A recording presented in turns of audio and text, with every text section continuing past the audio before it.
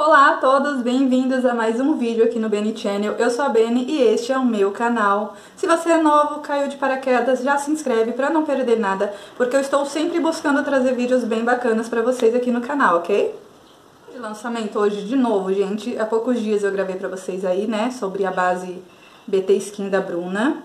E hoje nós vamos de sombras. Tanto é que eu estou semi-maquiada aqui, mas não passei nada no olho porque hoje eu queria testar com vocês essa paleta aqui da Ruby Rose, Tutti Frutti. Olha que lindinha, gente. Olha as cores, bem primavera, verão. Um bebezinho, ela não é grande, tá. É uma paleta pequena aí pra você carregar na bolsa. E há alguns meses a Ruby Rose lançou essa paleta e mais uma. Esqueci o nome, mas depois eu vou deixar aí pra vocês. E eu acabei comprando essa daqui pra brincar um pouco nessa época de primavera, verão, devido às cores, enfim. Então, bora lá, vamos ver a pigmentação, se ela tem uma espalhabilidade legal na hora de tá esfumando as sombras, tá bom? A gente vai ver tudo isso hoje aqui. Então tá, gente, eu tenho aqui um espelhinho pra me auxiliar, então de vez em quando vocês vão me ver saindo um pouquinho aqui, tá? Mas seguinte, eu não sei, eu não faço ideia do que nós vamos fazer hoje, mas eu queria brincar um pouco com as cores pra gente ter uma noção legal, assim, sabe? Então, talvez eu não faça nada muito usável, pra gente poder é, brincar realmente com as cores, ter uma noção da, da... Oi? Ter uma noção de como as cores elas vão se comportar no olho, tá bom? Então bora lá, eu pensei começar com esse amarelo aqui bem no cantinho do olho. Eu vou fazendo aqui e vocês vão pegando o passo a passo aí, ok? Então vamos lá. Vou usar o espelhinho, tá bom? Primeiro eu vou depositar... Oh!